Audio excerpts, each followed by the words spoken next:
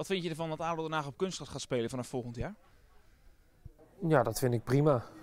Ehm, dat, eh, we hebben daar eh, lang over gesproken. En ehm, ik kom ook nog uit het, eh, uit het tijdperk dat ik eigenlijk vind dat voetbal op gas gespeeld hoort te worden. Dat vind ik eigenlijk nog steeds.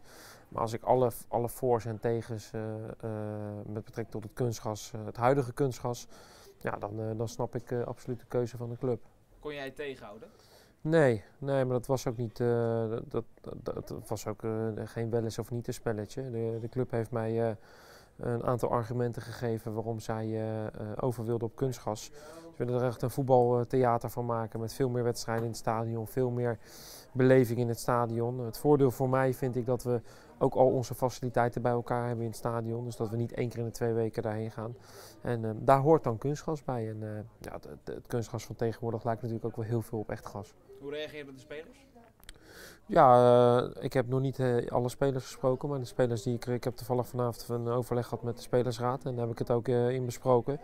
Maar jongens als Holla en, en, en Meloon hadden er al ervaring mee en die, die waren er zeker, als je eraan gewend bent, prima over te spreken.